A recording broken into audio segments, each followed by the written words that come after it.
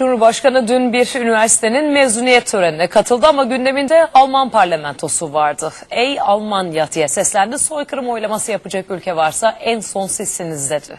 Ama asıl tasarıyı hazırlayan Yeşiller Partisi eş genel başkanı Cem Özdemir ile ilgili konuştu.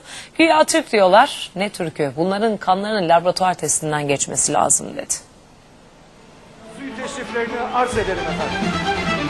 Siz Türkiye veya Türklere parlamentosunda kalkıp da sözde Ermeni soykırımı oylaması yapacak varsa belki de en son ülkesiniz. Önce Almanya'ya yüklendi. 1915 olayları için soykırım diyen yasa parlamentoda kabul edildiği için. Ey Almanya. Bak yine söylüyorum. Önce Holokost'un hesabını vereceksin. Bu bir. Nabibya'da yüz bini aşkın Nabibyalı'yı nasıl yok ettiniz, nasıl öldürdünüz onun da hesabını vereceksin. Ardından soykırım tasarısını hazırlayan Yeşiller Partisi eş genel başkanı Cem Özdemir'e hedef aldı. Cumhurbaşkanının sözleri ağırdı. İşte oradan çıkıyor bir ukala, bir şey hazırlıyor.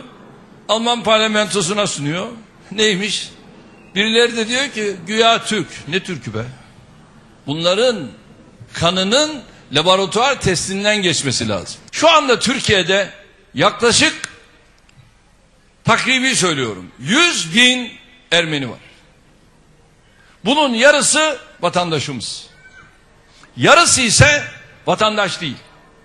Ermeni düşmanı bir ülke olsak bu gelenlerin hepsini Ermenistan'a geri gönderirdik.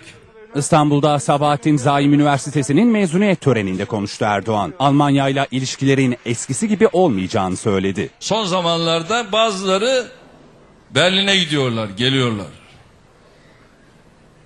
Ve kimlerle neyi konuşuyorlar, nasıl konuşuyorlar?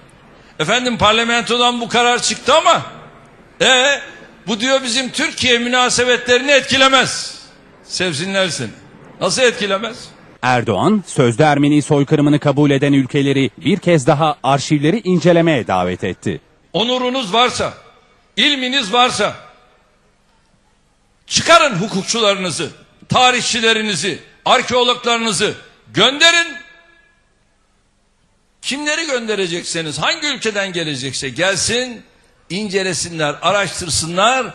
Ha, orada eğer söylediğiniz gibi bir şey çıkıyorsa biz herkesle yüzleşmeye hazırız.